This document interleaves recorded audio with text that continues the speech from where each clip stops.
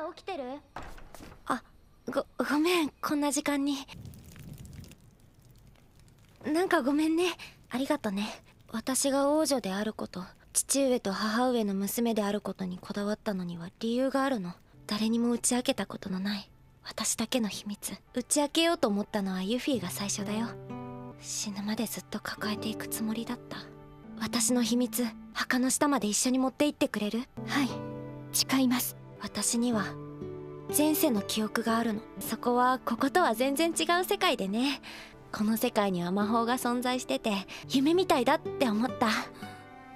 私の中身は純粋なアニスフィア・ウィン・パレッティアじゃない。私が生まれ変わってきたせいで本来そこにいたはずのアニスフィアを消してしまったんじゃないかって。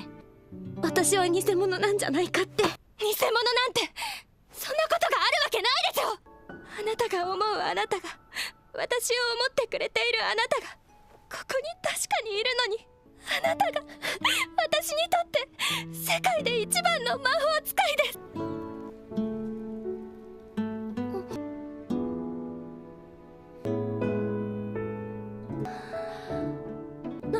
なんでキスするのさバカ。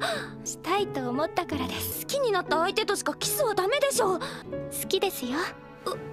あなたが望むなら忠誠でも友情でも捧げますけれど。